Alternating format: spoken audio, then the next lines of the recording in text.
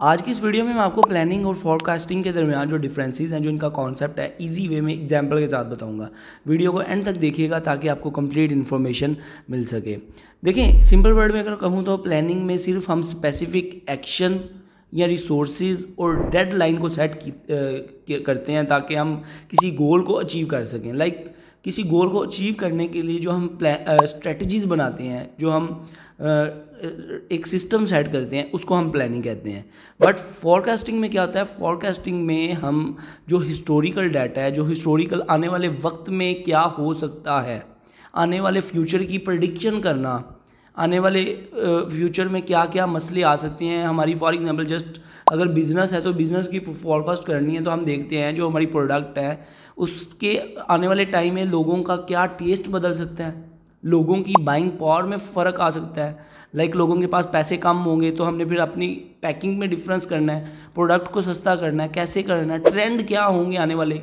नए नए डिज़ाइन आएँगे तो ये सारी चीज़ों का एनालिसिस करना हिस्टोरिकल डाटा का फ्यूचर की प्रडिक्शन करना, ये फॉरकास्टिंग होती है। बट प्लानिंग में हम अपने गोल्स जो हैं, उसको अचीव करने के लिए स्पेसिफिक एक्शन लेते हैं।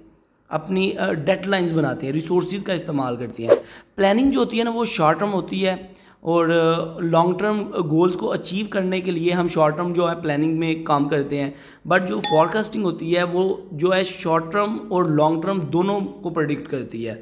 अभी जो हमारे साथ मसले मसाइल हो सकते हैं वो, और ज़्यादा आने वाले फ्यूचर में क्या हो सकता है, उसको भी ये प्रडिक्ट करती है फॉरकास्टिंग और प्लानिंग में हमारा मेन फोकस जो होता है सक्सेसफुल होना है, अपनी स्ट्रेटजीज़ को, अपने प्लान्स को एग्जीक्यूट करवाना है। अपने जो एक्शंस हैं नए रिसोर्स हैं, जो हमारी ऑपरेशंस हैं, उनको रन करना है, उनको कैसे आपने अच्छे तरीके से रन करना है, अपने रिस्क को मैनेज करना है स्पेसिफिक स्ट्रेटजीज और प्लान के थ्रू बट फॉरकास्टिंग में क्या होता है, हम मेन हमारा जो मेन फोकस होता है, वो प्रडिक्शंस पे होता है।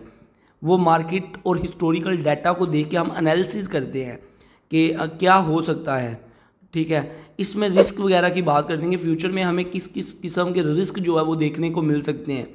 कितने लॉसेज हो सकते हैं हमें हमारी कितनी प्रोडक्ट या हमारी कितनी चीज़ें डूब सकती हैं।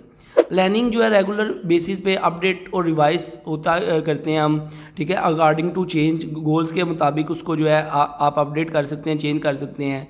बट जो प्रडिक्शन है उसको हम न्यू ट्रेंड की बेस पे ही और फ्यूचर ट्रेंड की बेस पे ही इसके अंदर चेंजिंग कर सकते हैं। जो फॉरकास्टिंग है उसमें जो न्यू ट्रेंड आने वाले हैं जो फ्यूचर में नए ट्रेंड आने वाले हैं उसकी बेस पे ही हम इसके अंदर चेंजिंग करते हैं। फॉरकास्टिंग में जो एक्यूरेसी है, उसको उसकी वैल्यू वैल्यूएट करने के लिए फ्यूचर प्रोडिक्शन की जाती हैं।